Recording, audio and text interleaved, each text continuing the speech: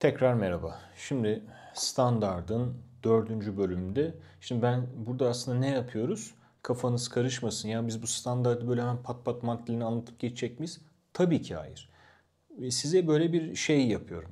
Trailer veriyorum. Bu maddeleri önden hani bu bölümler bu bölümlerde neler anlatacağız? Standarda şöyle bir geniş bir açıdan bakıyoruz.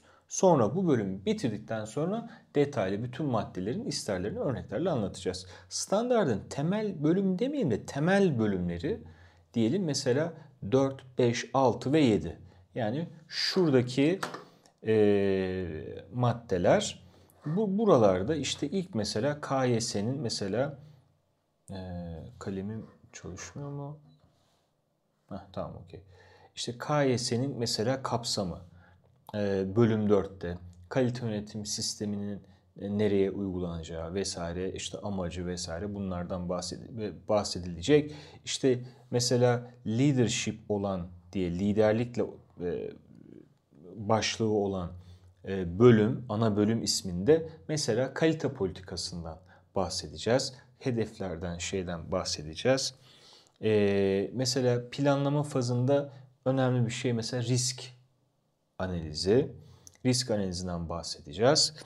Ee, yani riskler ve fırsatlar genel olarak planlama e, aşamasında şurada görmüş olduğunuz. Sonra support yani destek kısmında ise kay mesele kaynaklardan bahsedeceğiz. Yani kalite yönetimi sistemini sen gerçekleştirebilmen için yani sonuçta tamam bir hedef koyuyorsun. Diyorsun ki ben kalite politikasında işte e, hatasız ürün üreteceğim, şunu yapacağım, bunu yapacağım vesaire. Tamam okey. E, işte liderlik kısmında diyorsun ki yönetim bu işin başındadır. Yani yönetim commitment'ı var. Yani bu işin arkasına duruyor, imza atıyor vesaire.